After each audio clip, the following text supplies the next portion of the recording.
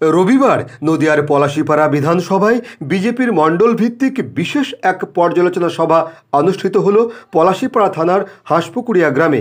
এদিনের এই সভায় উপস্থিত ছিলেন রাজ্য বিজেপির সহসভাপতি তথা নদিয়ার উত্তরের পর্যবেক্ষক লড়াকু নেত্রী মাফুজা খাতুন, নদিয়ার উত্তরের সভাপতি আশুতোষ পাল, সহসভাপতি বিভাস মণ্ডল ও সাধারণ সম্পাদক অর্জুন বিশ্বাস সহ অন্যান্য নেতৃবৃন্দ।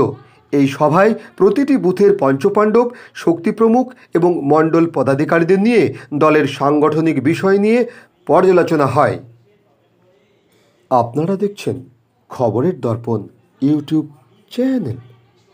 যদি এখনও আমাদের খবরের দর্পণ চ্যানেলটি সাবস্ক্রাইব না করে থাকেন, তাহলে এখনই সাবস্ক্রাইব করুন। সঙ্গে বেল বাটনটি ক্লিক করুন আর পেয়ে যান সব খবরের দ্রুত ভিডিও আপডেট।